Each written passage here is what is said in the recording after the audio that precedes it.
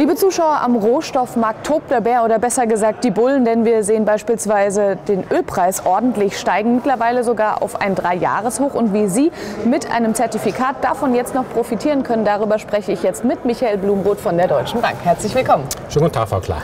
Gerade schon angesprochen, wir sehen natürlich am Rohstoffmarkt ist ordentlich was los. Wir unterhalten uns in den nächsten Minuten über den Ölpreis und beim Öl der Sorte Brent sind wir zuletzt einmal über die Marke von 70 Dollar pro Barrel gestiegen. Was treibt denn hier so an? Ja, da gibt es eine ganze Reihe von Gründen. Also was am meisten antreibt, ist natürlich, wir haben es ja gesagt, an den Rohstoffmärkten sind momentan die Bullen unterwegs. Nicht nur Öl allein. Letzte Woche haben wir über Palladium gesprochen, ein neues Allzeit mhm. hoch gemacht. Konjunktur weltweit ist am Boom, gerade auch in den USA. In den USA kommt jetzt der zusätzliche Schub durch die Steuerreform. USA ist natürlich eh schon eines der größten Nachfrageländer nach Öl. Aber auch Indien, China. China haben wir Bruttoinlandsproduktdaten, die lagen sogar noch leicht über den schon hohen Erwartungen drüber. Also die Weltkonjunktur boomt weltweit und das bedeutet natürlich, ist die Nachfrage nach Öl liegt über den Erwartungen, die man so in den letzten Monaten oder vor einem halben Jahr hatte. Das ist der Hauptgrund dafür, dass der Ölpreis so stark nach oben zieht.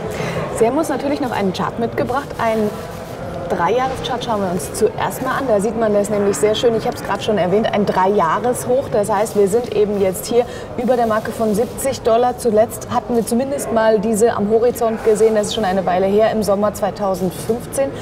Es heißt ja immer, wenn man diese Marken durchbrochen hat, die sonst ein bisschen den Widerstand darstellen, dann ist es durchaus ein Kurspotenzial nach oben. Sehen Sie das bei Brent derzeit auch? Ja, ich würde sagen, mal brennt könnte allmählich so ein bisschen in die Luft rausgehen. Natürlich, mhm. der Trend ist ja Friends, wie man dann so schön neudeutsch sagt. Und ähm, wenn so Marken durchbrochen werden, dann zieht es auch meistens ähm, oder häufig mit nach oben. Euro, Dollar zum Beispiel 1,20, 1,21 kommen sie mal durch, geht es nach oben. Aber Öl wäre ich ein bisschen vorsichtiger. Bei Öl ist halt doch natürlich Angebot und Nachfrage spielt hier eine große Rolle. Ähm, Angebot könnte dann ähm, in Zukunft wieder wachsen bei solchen Preisen. Ähm, es ist ja jetzt viel lukrativer geworden, Öl zu fördern, als es hier damals bei Preisen von 50 Dollar pro Barrel war im Juli 2017 noch, von einem halben Jahr. Ähm, deswegen denken wir, dass das Angebot dann natürlich immer nachziehen wird. Die Nachfrage ist sensationell gut. Auch gerade aus Afrika haben wir jetzt neue Zahlen bekommen, die ist sehr, sehr gut.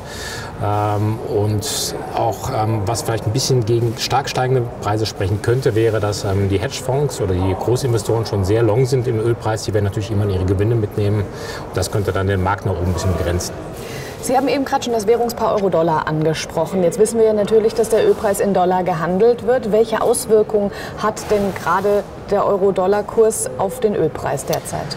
Ja, sehr große. Ähm, gerade wir hatten heute in der äh, Frankfurter Allgemeine Zeitung so einen großen Artikel, da steht drin, der Ölpreis steigt, aber da der Euro-Dollar steigt und da ähm, Raffinerien die Preise nicht so weitergeben können, ist effektiv momentan das Benzin sogar billiger als im Dezember gewesen ist, obwohl der Ölpreis, wie man hier sieht, gerade noch mal einen ordentlichen Schub bekommen hat.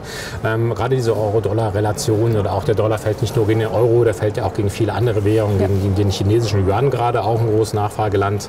Gerade diese Währungsrelationen bedeuten, das ähm, ist auch ein Grund dafür, dass der Ölpreis steigt, wie alle anderen Rohstoffe. Der Ölpreis in Deutschland liegt nicht zu, obwohl er hier in Dollar steigt. Der Euro-Dollar-Effekt macht das teilweise wieder wett. Also ein sehr positiver Faktor für Öl.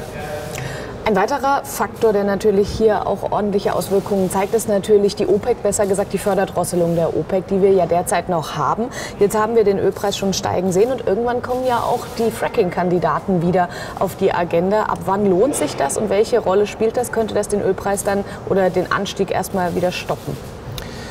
Ja, definitiv. Ähm, kann ich sagen, ich war jetzt gerade am Wochenende in Houston gewesen. Das ist so was wie die Ölhauptstadt der USA. Da merkt man mhm. schon, die Stimmung ist ganz, ganz anders, ähm, als sie früher gewesen ist. Auch da, Benzin ist sehr, sehr billig. Also so, ich glaube, vier Liter kosten da immer noch ähm, ungefähr zwei Dollar, also zwei Euro umgerechnet. ne? Das träumt der deutsche Autofahrer davon. Ja. Ähm, es ist natürlich, es lockt momentan die ähm, ähm, Fracking-Industrie, die wahrscheinlich die Sektkorken werden ein bisschen durch die Gegend fliegen. Man sieht auch die, an den Zahlen hier, das US-Ölangebot ist so hoch wie niemals zuvor. Es ist halt die Frage, inwieweit ähm, das weiter noch ausgebaut werden kann. Die OPEC hat das natürlich im Blick. Ich denke auch, die OPEC wird ähm, nicht wesentlich höhere Preise momentan haben wollen als jetzt die 70 oder vielleicht auch 75 Dollar pro Barrel, weil je höher der Preis, desto mehr wächst natürlich die, ähm, die, die Belohnungs, ähm, das Belohnungspotenzial für die US-Frecker. Also ich denke, die US-Frecker werden jetzt ähm, ordentlich auf den Pumpenschwengel drücken und das könnte die ähm, weiteren den Ölpreis ein bisschen unter Druck halten. Schauen wir uns noch mal den Einjahreschart an, den haben wir eben schon ganz kurz gesehen.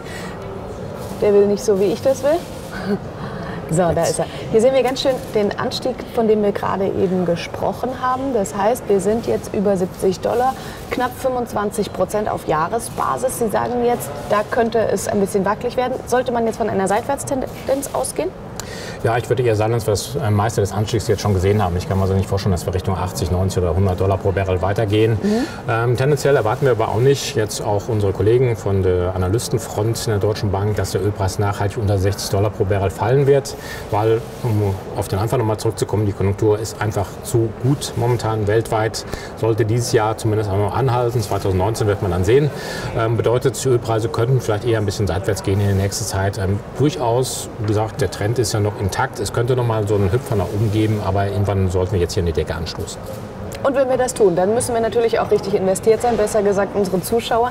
Da haben Sie uns zwei Produkte für zwei Szenarien mitgebracht. Wir starten zunächst mal mit einem Inline-Optionsschein auf den Ölpreis der Sorte Brent. Wir haben zwei Barrieren, eine obere, eine untere und in dieser Range sollte sich dann der Ölpreis auch weiter verhalten. Was passiert denn, wenn man doch tatsächlich eine der Barrieren touchiert? Wenn einer der beiden Barrieren shit wird, das wäre natürlich der übelste Fall, das wäre ähm, der Worst Case auf Neudeutsch und zwar dann würde dieser Schein nahezu wertlos verfallen. Mhm.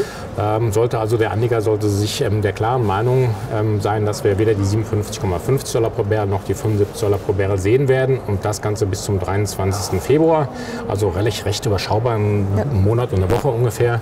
Bezieht sich auf den April Future, muss ich dazu sagen, der liegt so momentan ein bisschen unter dem ähm, aktuellen Future. Wir sind aber, wie man sieht, hier auch ungefähr in der der Mitte des Ganzen.